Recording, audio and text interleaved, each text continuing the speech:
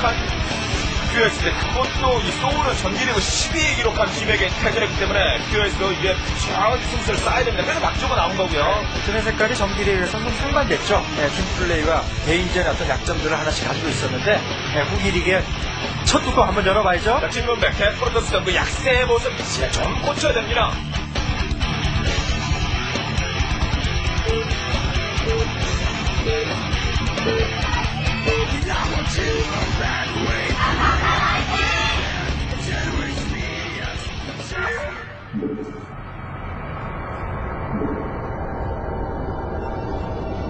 경기 시작됐습니다. 먼저 자, POS 박지호 선수의 진영이에요. 자, 11시 박지호. 그리고 이에 맞서는 삼성전자 김근백 선수의 진영은 3시입니다. 네, 정말 이번 경기는 일단 그 러시아워 2에서의 프로토스 저그 대결이 처음이라는 점이 굉장히 좀 크게 작용할 것 같은데요. 무엇보다도 프로토스의 출전 횟수가 적었던 이유는 프로토스가 좀 이 맵에서 많이 힘들다고 판단했기 때문에 각 팀들에서 이제 저그 테란 중심으로 보냈거든요. 그런데 박지호가 나왔습니다. 추정 네. 박지호가. 뭐 어, 아시다시피 Rush Hour 2 버전이 되면서 이제 뭐 그동안 있었던 그 1시, 5시 뭐 그 지역들의 세 군데의 가스 multi가 가스가 제거되지 않았습니까? 그렇죠. 그래서 Zerg가 그 지역을 보통 multi를 많이 하는 편인데 가스가 없는 만큼 나올 수 있는 Lurker라든가 Mutalisk 이런 가스가 많이 들어가는 유닛들 수가 예전보다는 좀 많이 부족하거든요. 예, 그 Protoss가 출전이 적었던 이유를 좀 살펴보면 아무래도 저, 특히나 저그를 상대로 했을 때 저그의 앞마당 투캐스 체제를 초반에 견제할 딱히 그럴 어, 떤 러시거리가 상당히 멀기 때문에 없어요. 네. 그런 점을 생각했을 때 어, 떻게 보면 좀 수비형 프로토스가 예, 이 맵에는 오히려 더 맞을 것 같다는 생각이 좀 듭니다.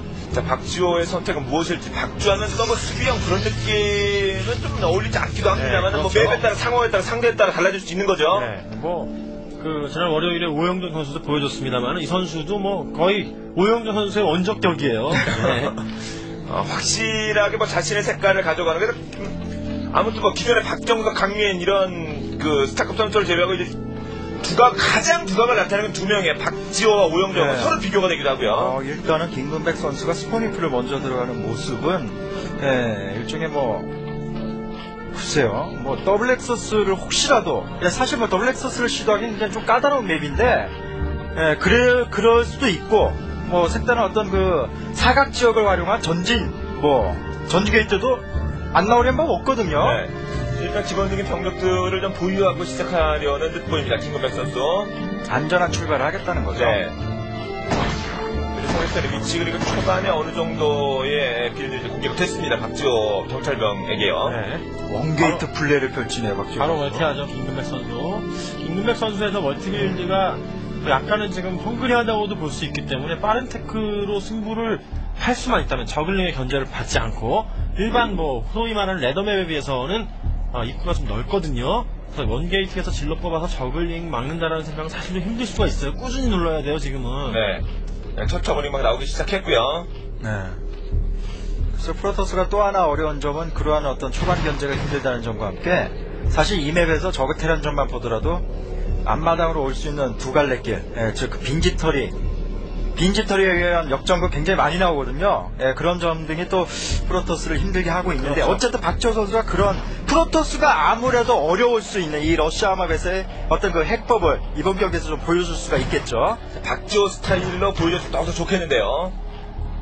자, 끝까지 Probe가 살아서 어, 정찰하려고 하고 앞마당 거의 완성됐습니다. 네, 최근에 김근백 선수가 Dual Tournament 1라운드에서 그 한빛의 박대, 백대, 박대만 선수를 이길 때 소위 말하는 그 땡Hydra 플레이로 쉽게 이겼거든요. 그렇죠. 지금 일단 3 Hatchery로 가고 있는데 이 상황에서 박지호 선수가 뭐 여차 병력 안 뽑고 tech를 빨리 올린다거나 진짜 multi 쪽을 생각한다거나 하면은 Hydra wave에 그냥 끝날 수도 있어요. 김근백 선수가 최근에 네. 잘하는 플레이가 바로 그겁니다. 일단 뭐 Corsair Dark Templar가 됐든 Reaver가 됐든 어 그것이 아니라면 언덕 쪽의 Cannon은 반드시 필요하고요. 그렇지 않을 경우에 말씀하신 그 3 Hatchery Zergling Hydralisk가 끝납니다. 또 하나 그 변은종 선수가 이런 얘기를 했었거든요. 그 강민 선수가 가장 그 잘 구사하고 있는 수비형 Protoss에 왜 그렇게 Zerg 선수들이 나가 떨어지는지 이해를 못하겠다. 그 얘기를 한 이유가 변은종 선수는 double Nexus 시도 이후에 그런 어떤 Zergling이나 Hydralisk를 반영해서 조, 조기에 뚫는 플레이를 상당히 잘하는 선수거든요. 네. 그러니까 약한 부분은 사실 그때다. 그 이유를 놓치면 후반에 가서는 사실 Zerg가 힘들다 이런 얘기를 계속 하더라고요. 휘둘려, 어, 휘둘리면 당하고 있었습니다. Zerg가 강민 선수 상대로 해서. 어, 기본적으로 입구 쪽 방어, 또 Cannon으로 준비를 하죠. 자, Stargate에서 Corsair 생산하고 있고요. 네, 언덕 쪽에 Photon Cannon 건설을 보니까 쉽게 뚫기는 좀 힘들 것 같네요. 홍경구 선수가 뭐 박지호 선수가 좀 이런 생각을 하고 있을 것이다. 뭐 이런 얘기를 전달했나요? 막 웃고 있는데 아 역시 일단은 no Lair Hydra 땡Hydra 제대로 가고 있죠. 김근백 네. 선수 타이밍을 노리는 거예요. Corsair로 그 모습을 다 빨리 확인을 해야 됩니다. 박지호 입장에서는. 네. 근데 보통 이 타이밍에 Corsair가 빨리 오기 때문에 사실 3 Hatchery를 가게 되면 네, Hydralisk로 만들 수밖에 없죠. 네.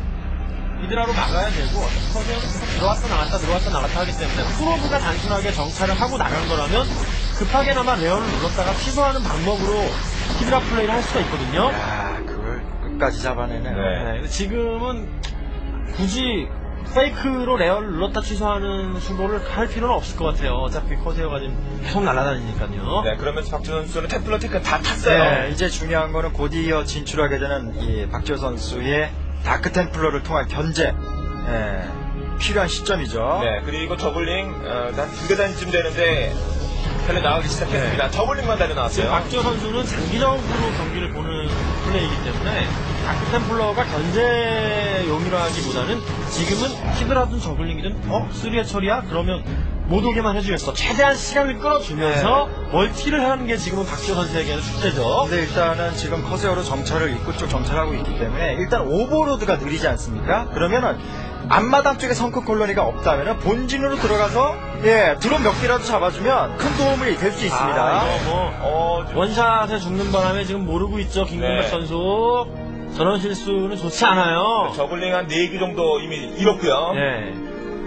어쨌든 그 박지호 선수가 준비해온 대로 지금 차근차근 진행이 잘 되고 있습니다. 앞마당 multi를 어쨌든 지금 잘 돌리고 있고요. 이제 Lair 된 걸 확인해야죠 예, 지금 중요한 바로. 거는 이러고 있는 가운데 Overlord 속도 업그레이드 그렇죠. 필히 해줘야 되기 때문에 네. 이 타이밍에 또 Protoss는 Templar의 Psionic Storm 개발을 필수적으로 또 해줘야 됩니다.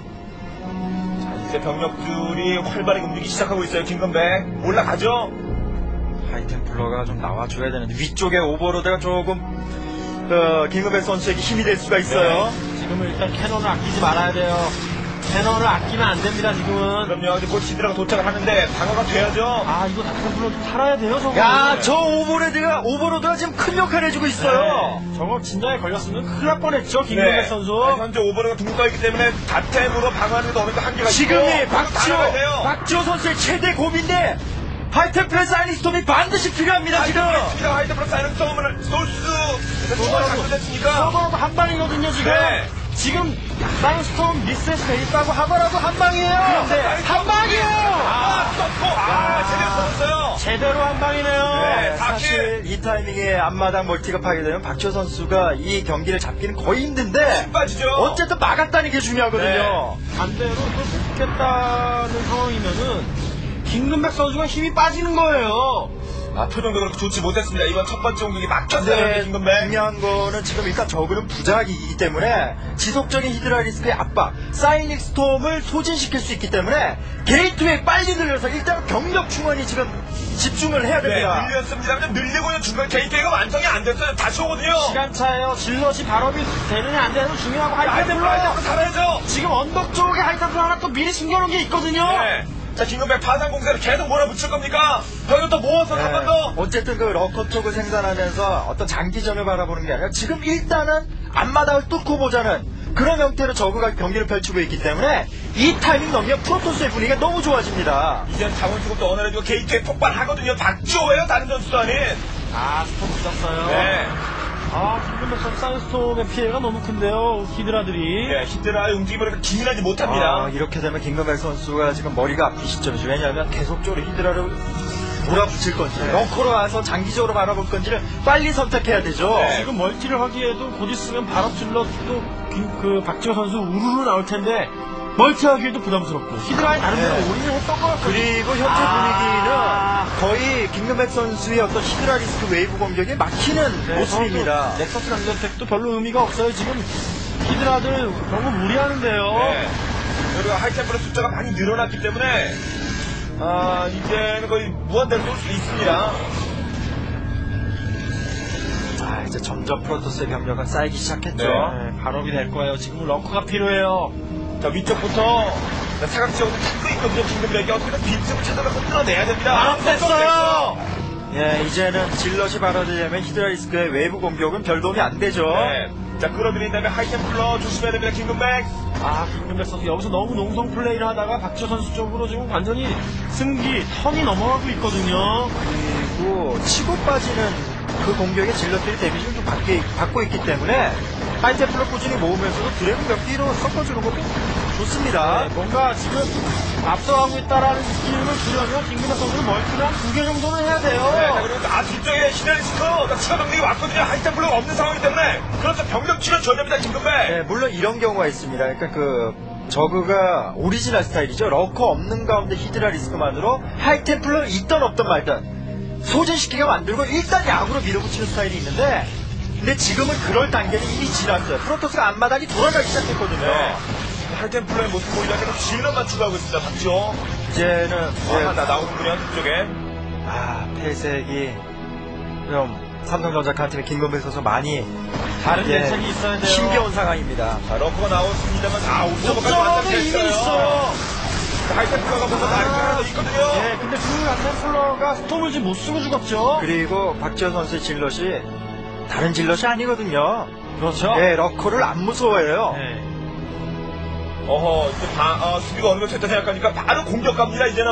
아, 오히려 이제는 김근백 선수의 위기입니다. 네. 병력 중심으로 가다 보니까 입구 쪽 Sunken Colony는 당연히 없죠. 자, 바로 들어가는데요, 박지호. 아, 드디어 박지호 스크릿이 조금씩 네, 늘어나오는 시간 안 Zealot들로 걸렸네. 지금 변신했죠. 이제 Creep Colony 정도밖에 없어요. High Templar가 한, 예, 한 기만 네. 있어도 뚫기 좋을 텐데. High Templar 없이 그냥 갑니다, 박지호는. 야, 이거를. Dragoon도 필요 없다. 하이, 네. High Templar도 필요 없다. 박지호 선수는 저게 바로 박지호 spirit이에요. 아, 네. 아무리 spirit이라도 조금 네, 좀 오바했죠, 근데. 오바 spirit, 네, 오바 spirit이에요. 너무, 예, 네. 사기만 충천돼 있었어요. 여기도 저 스피릿이랑 비슷한 단어가 써있죠. 여기 바로 여기 목둘레예요. 그러니까 적당하게 경력을 조합해가면 훨씬 더 파괴력이 있는데 이번에도 마음이 더 급했습니다, 박지호도. 사실 뭐 그 히드라리스크 상대로는 질템 만한 조합이 없죠. 네, 근데 지금 박지호 선수는 뭐 오바해서 들어왔다라고 보기보다는 압박을 해보고 상대의 병력과 조합을 판단을 하고 아. 또 들어온 숫자를 확인하고 다른 멀티가 있는지를 확인하는 거예요. 김근백 선수는 이럴 수도 저럴 수도 없는!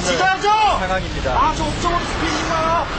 네, 그러니까 김근백 선수가 지금 뭔가 그 장기전을 생각하기에는 그 타이밍을 이미 벗어났어요. 네. 그러다 보니까 추가 확장을 가져가도 답이 없기 때문에 계속 어쩔 수 없는 경기를 지금 보여주고 있는 겁니다. 저게 히드라 컨트롤이 나와도 힘들지만 지금은 여러모로 박지호 선수의 물량을 압도할 수 있는 방법이 김근백 선수가 지금 찾을 수가 없죠. 네, 추가적인 확장이 있는 것도 아니고 그러니까 아, 그래서 뒷심이 좀 약해질 수밖에 없습니다, 김금백. 그래도 좀 이런 생각이 좀 드네요. 예, 이 러시아 맵을 좀 지져야죠. 지형을 좀 활용했으면 좋겠는데 지금 너무 서두르고 있어요. 김선백 선수가 지금은 한숨 쉬고 방어전을 하면서 오히려 빈집을 노려야 돼. 빈집 노리기에 좋은 맵인데 그럴 여력조차도 지금 없네요. 김근백 선수가 지금 무서워하는 건 박지호 선수가 멀티 하나를 구할 게 걱정이에요 네. 지금. 그러니까 양 선수들 좀 계속 치고받고 치고받고 네. 치고받고 난타전이에요. 지금 이렇게 해도 뭐 대놓고 멀티를 할 수 있는 박지호 선수인데 저그가 수비 형태로 나오게 된다면 정말 뭐 박지호 선수는 멀티 한 두 개 정도 하고 시작한다 생각하고 경기하면 돼요. 네, 중앙 좌측에도 병력, 그 오렌지색 박지호의 점이 찍혀 있습니다. 자, 확장을 하는 것으로 보이는데, 아. 계속 이렇게 비슷하게만 싸워줘도 박지호 선수는 여유가 있거든요. 그리고 그 애초에 빌드 선택도 좀 김근백 선수에게 아쉬운 점인데 어차피 예, 초반 하드코어 Zealot 러쉬가 좀 힘든 맵이기 때문에 앞마당을 가져가고 좀 시작했어야 했습니다. 가난하게 출발을 했죠. 아, 병력 쌓이는 거 보십시오. 박지호. 점점 늘어나고 있고 Dragoon과의 조합이 있으면서 더더욱 Hydra만으로는 어려워졌어요. 네. 지금 박지호 선수 공업 1업 정도 된 상태인가요? 아. 저글링을 전혀 지금 추가하지 않는 것, 아우, 노업이면 저글링도 좀 추가를 해서. 이미 박지호 선수는 업그레이드 돼서 나오죠. 아, 네, 히드라들. 완전히 불쌍하네요. 아, 다범이가 옥적으로 다 지지죠. 보이거든요. 이제, 네. 김도백 선수 저그 병력 질린 프로토스 거예요. 상대로 정말 극복을 좀 해야 됩니다. 자, 오늘 프로토스전의 약세 모습을 좀 어, 바꿀 수 있는 계기를 마련하나 했습니다만은 또다시 박주호에게 막히고 말았어요. 박주호는 뭐 초반에 안정적으로 확장 하나 딱 가져간 다음부터 뭐 계속 박주호가 좋아하는 지금 싸움만 계속 하다 보니까 상대편이 제프를 꺾였어요. 자, 박지호 팀의 주장으로서 자, POS의 1승을 남깁니다. 게임과 1대0으로 POS가 앞서납니다.